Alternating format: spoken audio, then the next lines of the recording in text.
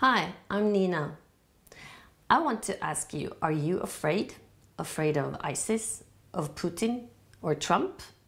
The media often claims you are or that you should be.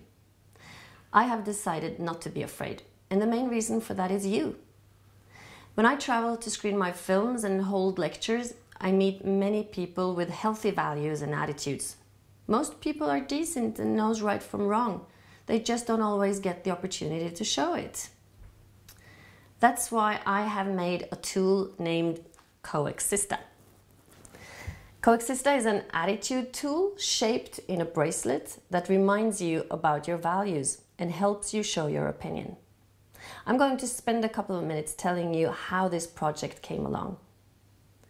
It all happened as I was in post production with my last film, a documentary telling the story about the Jewish children's home in Oslo during World War II. My father happened to be one of those kids escaping from Czechoslovakia in 1939.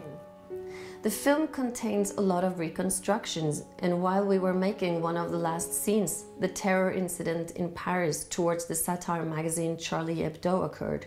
This was an attack on free speech, but also an attack on a civil Jewish target, the kosher store in Porte de Vincennes.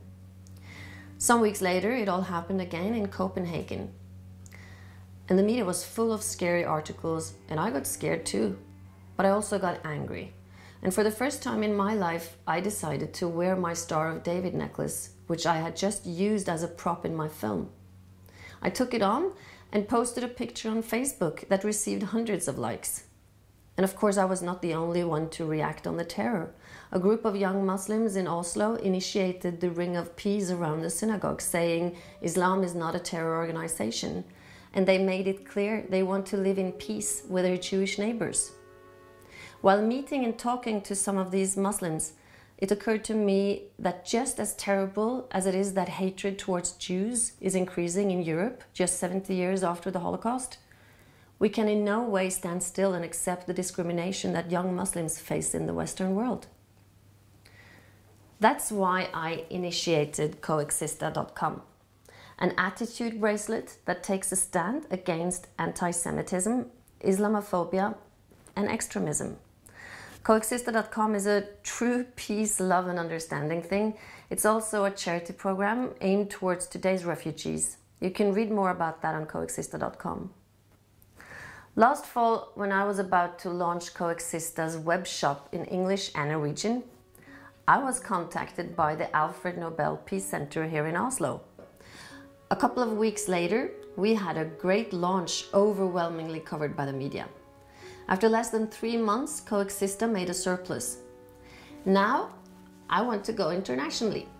I want you to help me do that. We just launched the French site, and now I want to translate it into Spanish and German. And wouldn't it be great with Arabic and Hebrew? I'm asking you to help me to do this. By buying Coexista jewelry as a holiday gift for your family and friends, you can help me spread the message and to finance the development and growth. If you like and agree upon what I have told you, please click into coexista.com and buy your gifts here or donate if you want. I wish you a great holiday and a peaceful coexistence.